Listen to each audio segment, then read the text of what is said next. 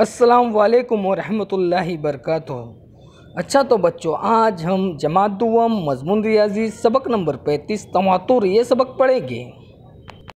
तवातुर यानी एक के बाद एक का ऐसा सिलसिला जो सिलसिलावार आगे बढ़े, दरमियान में कोई दूसरा फ़र्क ना आए।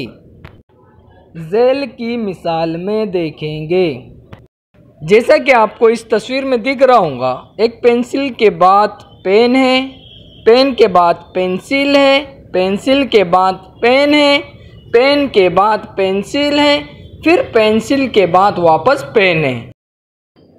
तवातुर की मिसालें अपने एतराब भी होती है, जैसे खिड़की, दरवाज़ा, शतरंज का बोर्ड वगैरह।